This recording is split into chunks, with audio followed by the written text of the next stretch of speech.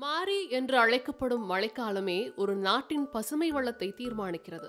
காற்றின் திசையை பொறுத்தே பருவமழையும் கணிக்கப்படுகிறது. இந்த பருவமழைக்கும் சுற்றுச்சூழலுக்கும் நெருங்கிய தொடர்பு உள்ளது. குறிப்பாக காற்று மழையை கொண்டு வருகிறது. மழை புல் பூண்டுகளை விளைய செய்து சில வகை உயிரினங்களுக்கு ஆகாரத்தையும் கொடுக்கிறது. இந்த விலங்குகளை நம்பியே பிற உயிரினங்களும் உயிர் வாழ்வதால் சூழலியல் ஒவ்வொன்றும் ஒன்றை ஒன்று சார்ந்திருக்கின்றன. ஆனால் தற்போது தொழில்நுட்ப வளர்ச்சிக்கு ஏற்ப சூழலியலிலும் மாற்றங்கள் நிகழ்ந்து வருகின்றன. அதிகப்படியான ரசாயன வெளியேற்றங்கள் காரணமாக பனிக்கட்டி பாறைகளும் உருகி வருகின்றன. இந்த தாக்கத்தை தாமதமான மழைப்பொழிவு மூலம் உணரலாம்.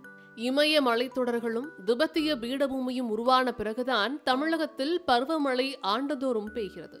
அதாவது தென்மேற்கு பருவமழை ஜூன் மாதம் தொடங்கி செப்டம்பர் வரைக்கும். வடகிழக்கு பருவமழை செப்டம்பர் தொடங்கி டிசம்பர் ஜனவரி வரை நீடிக்கும். இதில் தென்மேற்கை விட வடகிழக்கு பருவமழையே அதிக மழையை கொடுக்கும். குறிப்பாக தென்மேற்கு பருவமழையில் சராசரியாக முன்னூற்று நாற்பத்தி இரண்டு மில்லிமீட்டர் மழையும் வடகிழக்கு பருவமழையில் நானூற்று ஐம்பது மில்லிமீட்டர் அளவு மழையும் பதிவாகிறது. உள் மாவட்டமாக இருக்கட்டும் ஆறு கடலோர சென்னை மாதிரி கடலோர மாவட்டம் இருக்கும் அவங்கள பொறுத்த வரைக்கும் நமக்கு பொதுவாக வெப்பசலன மலை தான். ஸோ தொண்ணூறு சதவீதம் வந்து நம்ம வெப்பசலன தான் மழையை பற்றி தான் இருக்கிறோம். தமிழகத்தை பொறுத்த வரைக்கும் சராசரியான மழை அளவு பார்த்திங்கன்னா நமக்கு முந்நூற்றி நாற்பத்தி ரெண்டு மில்லிமீட்டர் நம்ம ஜூன்லேருந்து நமக்கு செப்டம்பர் வரைக்கும்.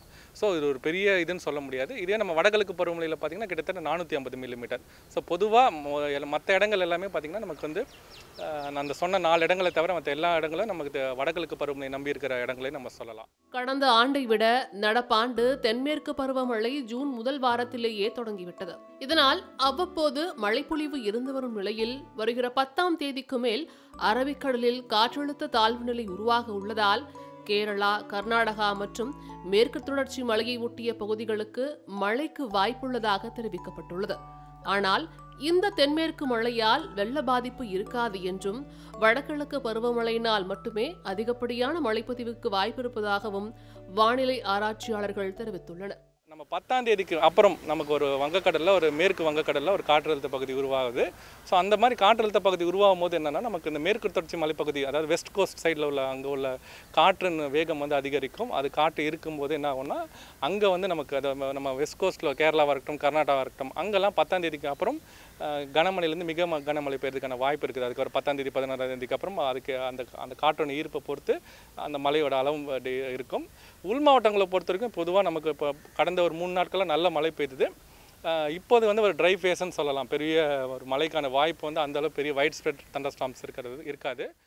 மாலை முரசு செய்திகளுக்காக ஒளிப்பதிவாளர் ஆதித்யனுடன் செய்தியாளர் வர்ஷினி.